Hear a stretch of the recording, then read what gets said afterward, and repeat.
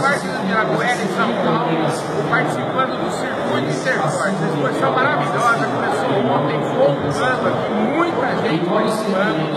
E aqui do meu lado, para ilustrar esse Fala Carlão 425, tem três amigos que eu adoro. Né? A começar pela Carla Justílio, que é a pessoa que organiza esse evento. Do lado dela, o Juliano, que é o diretor de marketing da DSM.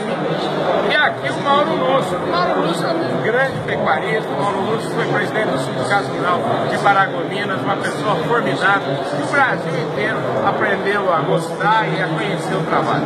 Eu vou começar pelas mulheres, obviamente. Carla, pouco rápido, porque você fala, Carla, você está feliz, né? Só por semblante seu, você está indo à toa. Né?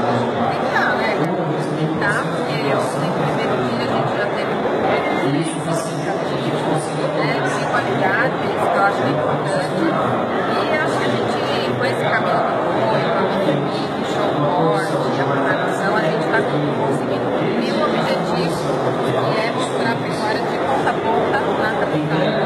É isso aí, gente. Maravilhoso.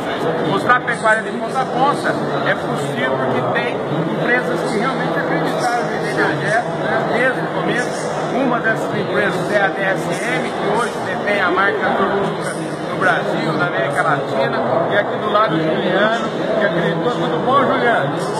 Como é que está a nossa Tortuga? Está indo muito bem aqui em São Paulo. A capital precisava de uma rede pecuária.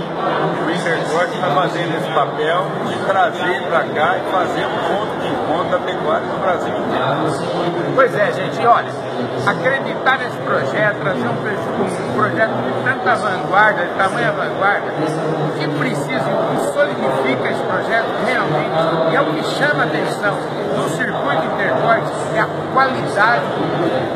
Eu tive Cuiabá, né, que foi a primeira edição, agora dia 2 e 3 de março, extraordinário, pecuarista, gente do negócio participando. E olha, eu estou falando isso porque aqui do meu lado está o Mauro Lúcio, né?